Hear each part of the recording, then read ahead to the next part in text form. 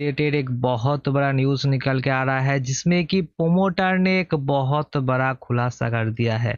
तो क्या खुलासा कर दिया है? जिसके बाद अभी क्या होने वाला है? क्या हमको अपर सर्किट देखने को मिलेगा या फिर ये लोअर सर्किट जो अभी चल रहा है, वही कंटिन्यू रहेगा? अभी एनालिसिस्ट के द्वारा भी एक लेटेस्ट अपडेट निकल के आ रहा है तो अभी एनालिसिस्ट क्या सजेशन कर रहा है? उसके बारे में भी हम लोग को पूरा का पूरा डिटेल में टेक्निकल एंड फंडामेंटल एनालिसिस करूँगा। तो आप इस वीडियो को शुरू से लेकर अंत तक देखना एंड इस चैनल को अगर आपने अभी तक सब्सक्राइब नहीं किया है तो आप सब्सक्राइब भी कर सकते हो। उसके साथ ही साथ नीचे डिस्क्रिप्शन बॉक्स में एक वीडियो का लिंक मैंने दिया हुआ है। उस वीडियो को आप ज़रूर से ज़रूर चेकआउट कर लेना, क्योंकि उस वीडियो में मैंने बताया है कि लोअर सर्किट में जब किसी भी स्टॉक चलता है तो उसी स्टॉक को आप कैसे सेल कर सकते हो? आपका जो सेलिंग का जो प्रोबेबिलिटी है, वो आप कैसे हाई में रख सकते हो? उसके ऊपर हमने पूरा का पूरा डिस्कस कर लिया है तो आप उस वीडियो को ज़रूर से ज़रूर चेकआउट कर लेना। तो अभी हम लोग थोड़ा सा टेक्निकल एनालिसिस कर लेते हैं, उसके बाद हम लोग एनालिसिस का राय भी देखेंगे। तो यहाँ पे गैस आप देखिए कि अभी ब्राइट कॉम ग्रुप का जो शेयर है, वो अभी करंटली सारा का सारा जो मूविंग एवरेजेस है, उसके नीचे ही कामकाज कर रहा है।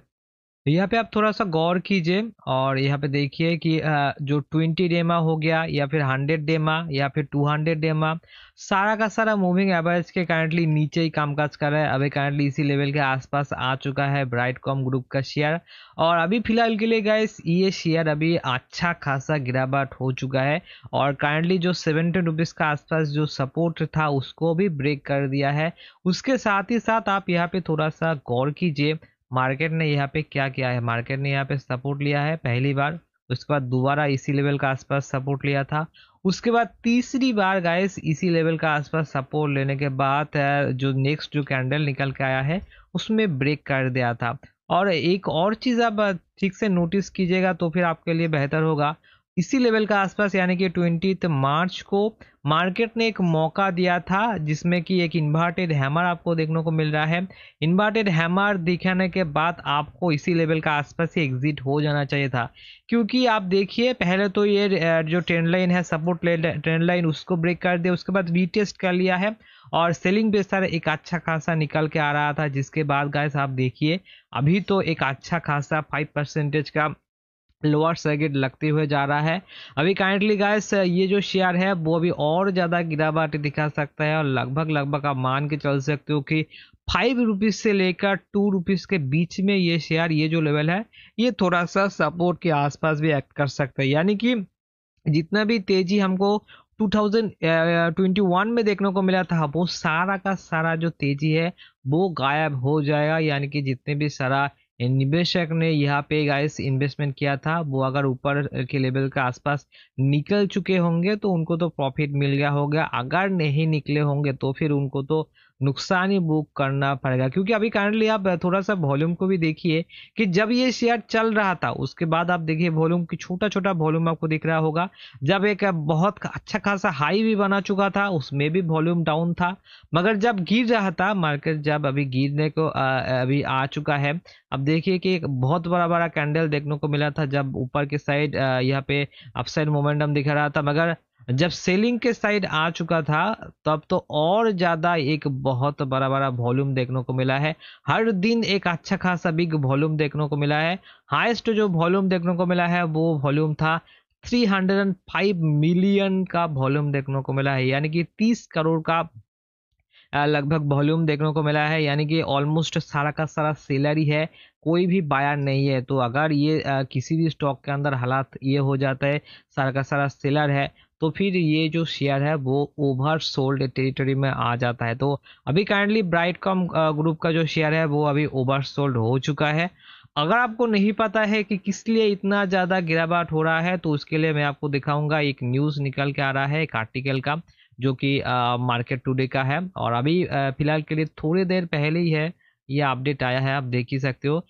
Brightcom share has free fall and stock down was 87 percent यानी कि 87 परसेंटेज का आसपास अभी डाउनफॉल ऑलरेडी हो चुका है। तो एनालिसिस के द्वारा क्या कुछ बोल रहा है, उसके बारे में हम लोग थोड़ा सा एनालिसिस कर लेते हैं। तो थोड़ा सा अगर हम लोग नीचे की तरफ़ आते हैं तो यहाँ पे गैस आपको देखने को मिलेगा कि मार्केट का जो रेगुलेटर है, जो कि है सेबी सेबी के द्वारा एक शो कॉज नोटिस जारी किया था एयरटेक फार्म को, और उसके बाद ही एक अच्छा खासा डाउनफॉल देखने को मिल रहा है, और it is also flagged concern and made observation about the irregular and incorrect filing of share holding pattern यानी कि अभी कंपनी के द्वारा जो शेयर होल्डिंग पैटर्न पब्लिश किया गया था उनमें इरेगुलर एंड इनकरेक्ट फाइलिंग बताया गया था। उसके साथ ही साथ गाइस अभी कंपनी ने जो भी प्रॉफिट जो शोकेस किया था, जिसके बाद एक अच्छा खासा बुलिश मोमेंटम देखने को मिला था, उसमें भी इशू हुआ था। यानी कि कंपनी ने अभी रॉन्ग जो अपना प्रॉफिट है, वो शो किया था, जिसके वजह से अभी सेबी ने पकड़ लिया है।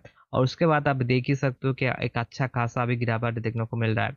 उसके साथ ही साथ आप यहाँ पे देखिए the regulator made a certain की ऑब्जर्वेशन ब्रैडकॉम सेड यानी कि ब्रैडकॉम का जो प्रोमोटर होल्डिंग ने है, उन्होंने बताया कि which are the impairment charges balance sheet of eight hundred sixty point three zero crore यानी कि जो भी चार्जेस बताया गया है वो सिर्फ़ और सिर्फ़ इम्पेयरमेंट चार्जेस है। अभी ये सफ़ाई दिया है ब्राइटकॉम ग्रुप का प्रोमोटर होल्डिंग्स ने। उसके साथ ही साथ share holding pattern and compliance and reporting वो सब कुछ अभी बोल रहा है कि लीगली कामकाज करेंगे और लीगली मैटर को सॉल्व करने की चेष्टा करेंगे। अभी ये ब्राइटकॉम ग्रुप का प्रोमोटर का अभी ये कहना है। उसके साथ ही साथ आप देखिए लास्ट वीक ब्राइटकॉम ग्रुप का जो प्रोमोटर्स है उन्होंने बताया है कि उनका जो प्लेज जो शेयर है शेयर है, उसको पार्ट को अभी प्लेज कर दिया था। बहुत सारा बैंक के पास आईसीआईसीआई बैंक के पास भी ये बैटकॉम ग्रुप का शेयर का प्लेज था।